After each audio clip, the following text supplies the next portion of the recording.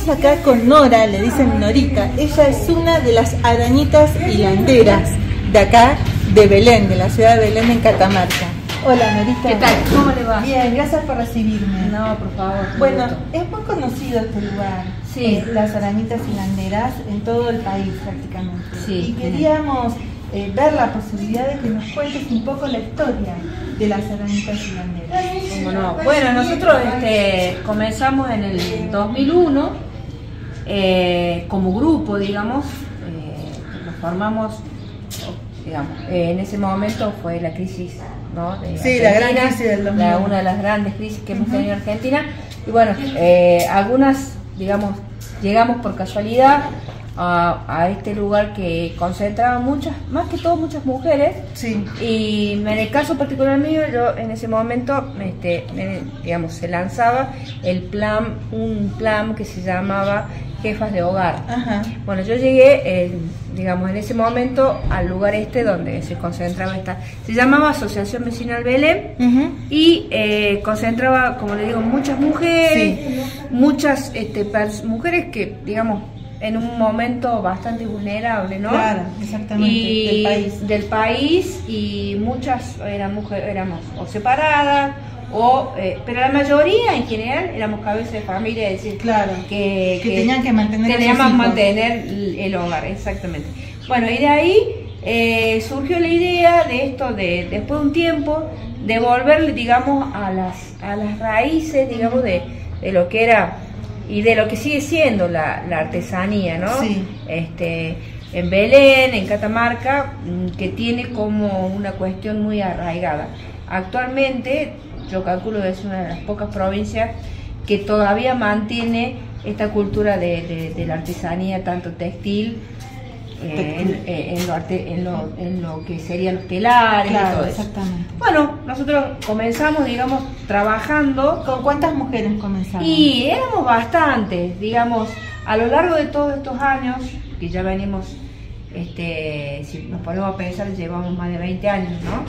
Eh, como grupo, pasaron muchas Claro. chicas, este, de las cuales todavía algunas quedan De la- de las primera camada, Sí. claro, exactamente. ¿Y la- empezaron a... ¿Todas sabían tejer? no, o- no, no, todos no, no sabíamos. Yo, por ejemplo, soy linda de Córdoba. Este, yo no tenía idea de cómo era esto. Ya viví hace muchos años acá, Ajá. pero eh, aprendí un poco de todo esto ahí cuando comenzamos. ¿Quiénes bueno, enseñaron?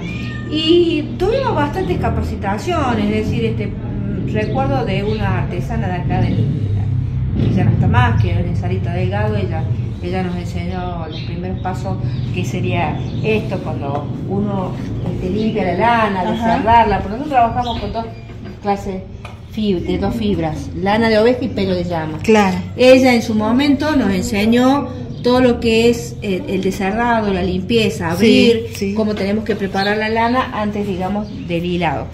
Entonces, después tuvimos capacitaciones de tintes, capacitaciones Claro. textil, en la parte del tejido, pero a lo largo de los años, cuando fuimos trabajando y haciendo estas, estas primeras incursiones en el, en el tejido, primero hacíamos hilo, solamente hilo.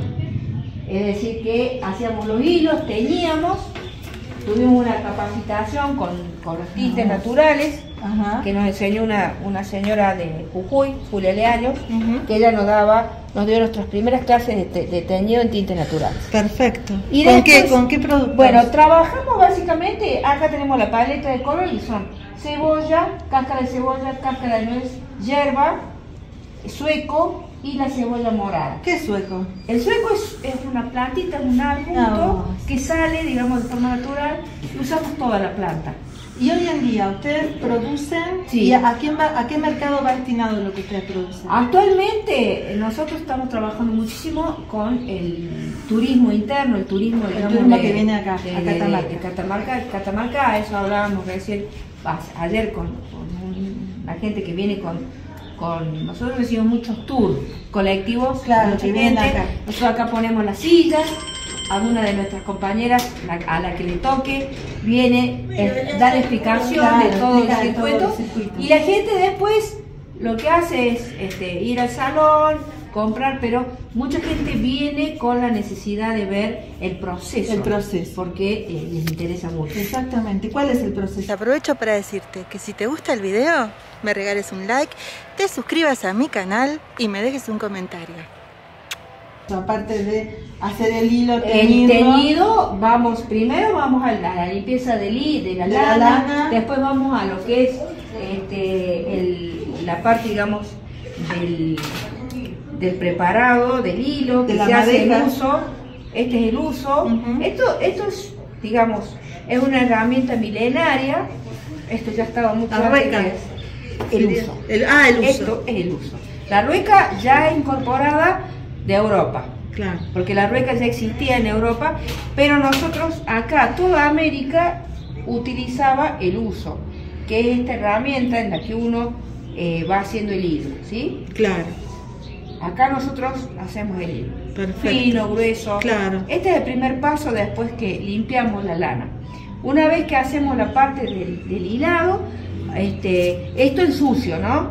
Lavamos eh, digamos que la madeja queda así, en este caso es eh, oveja, pero para los dos también es lo mismo. Porque oveja y el otro animal, ¿qué sería? Eh, llama, pelo. Esto es lana, esto es pelo. Eso es pelo. Entonces tenemos la madeja lista, esto va a lavarse bien lavado con jabón blanco y después ya pasa a, los tintes naturales. Exactamente. Perfecto.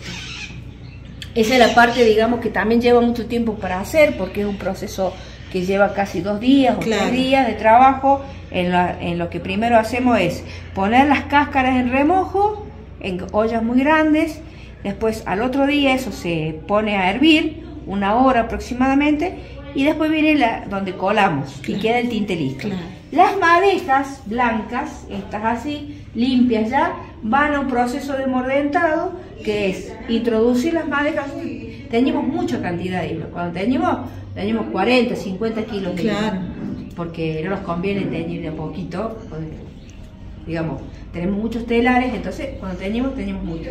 Ya vamos a ver los, hilos teñidos y después una vez que tenemos los, hilos en agua, porque tenemos que ponerlos a todos los hilos blancos en mordiente, que es agua con este, una especie como de bicarbonatos, eh, para que eso tome, eh, digamos, cuando vamos a pasar esos hilos al tinte, tomen, tomen los colores. Los colores bien, fuertes. ¿Y de acá dónde pasa? Y después de hacer todo el proceso, vamos a los tejidos o a los, distintos telares, que son estos.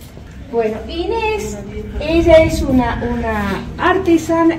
¿Cómo, ¿Cómo es el proceso de la, del tejido? Primero se hace el urdiembre, el urdiembre es, es esto, hacer, armarlo al campo es ir y venir con dos tarritos, con los ovillos. Cuando vamos y venimos, llevo un cruce acá adelante de la pintura. Se arma un cruce, que es el cruce este que me ayuda a, que la trama este quede... Claro, que se vaya formando. Que se vaya formando.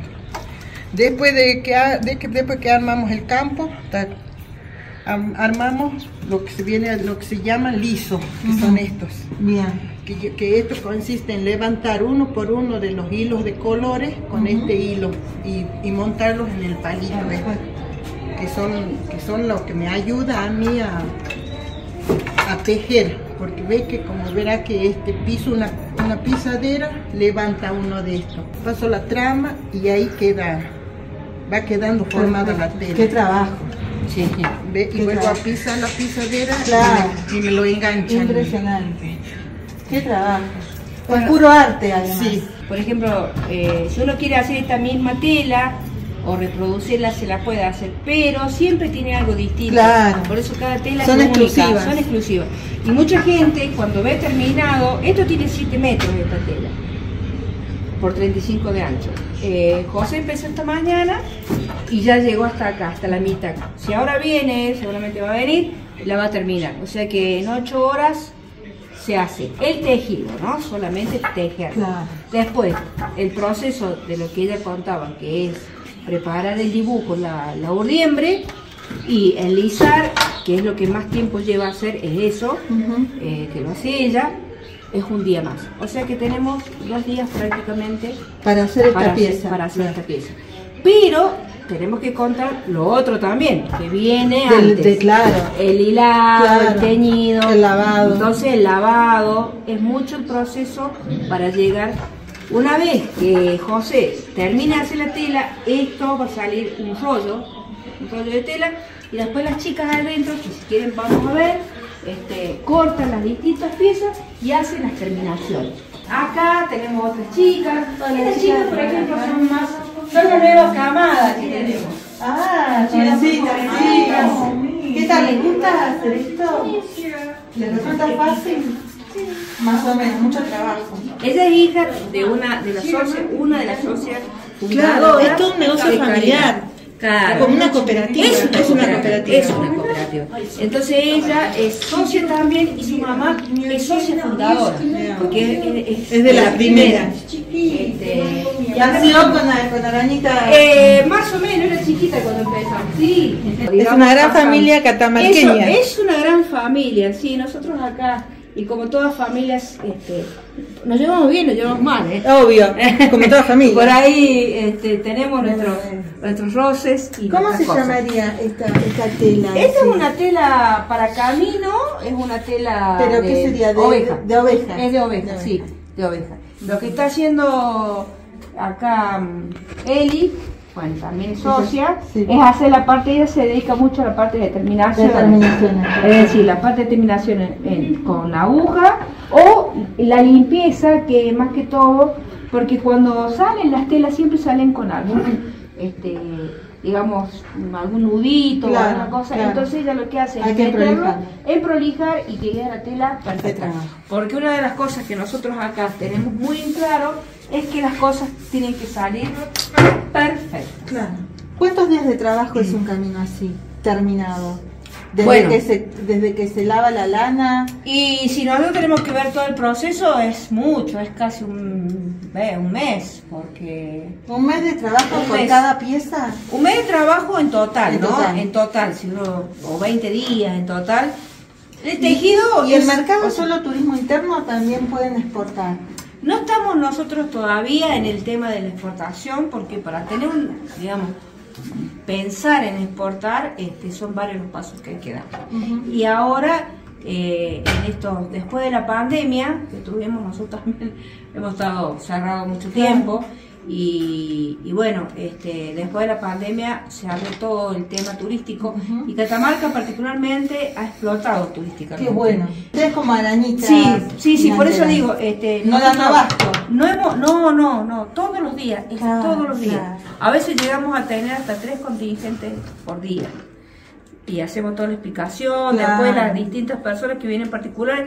Es decir, este, ha sido un año, ya venimos trabajando desde el año pasado así. ¿Y hoy en día cuántas son? Y ¿Cuántas somos mujeres son? 38. 38 creo, sí. mujeres en trabajo. Que todo esto a nosotros nos, nos ha tomado sorpresa. Porque si bien... Pero para bien. Para bien, por supuesto. Pero nunca pensábamos que el turismo... Y, está muy vendido Catamarca, ¿no? Una provincia que... Gracias a Dios. Sí, Cada que no, más. que la están conociendo la gente Cada vez más. cada vez más. Porque antes uno hablaba de Catamarca y ¿dónde queda Catamarca? Era No, así, de ¿eh? hecho mi amiga viene de Canadá especialmente a conocer Catamarca. Por eso digo, bueno, esa, claro, entonces hoy en día tenemos la suerte de que están descubriendo esta provincia. Bueno. que toda la provincia. Totalmente. Toda la pero, provincia. pero me encantó conocer esta cooperativa que nació de la nada, de una crisis enorme que nos afectó a todos los argentinos en el 2001 y hoy en día podemos decir que son uno de los negocios estrellas de la provincia, arañitas hilanderas. Sí, Así gracias. que bueno, Norita, te agradezco muchísimo No, y si pasan por Catamarca, no duden de venir a conocer a las arañitas hilanderas. que Tenemos- son súper, Sí. súper talentosas. Te quería decir que como esto es un canal de YouTube y tenemos dos páginas para que nos sigan, Por favor. que es Arañitas Hilanderas OK, Ok. En, en Instagram y Arañitas Hilanderas en Facebook, que ustedes ponen, ahí nomás salta la página. Yo les voy a poner Así que este, Ahí pueden seguirnos a nosotros por ahí. Fantástico. Bueno, Bueno. Norita, te Bueno, agradezco no, el tiempo que me diste para explicarnos todo este proceso maravilloso y la historia tan interesante de mujeres que lo- lograron surgir con el trabajo y con el sueño de poder estar y sentirse mejor. Muchas gracias a ustedes. Un orgullo. Sí, muchas Un gracias. orgullo, chicas, conocernos.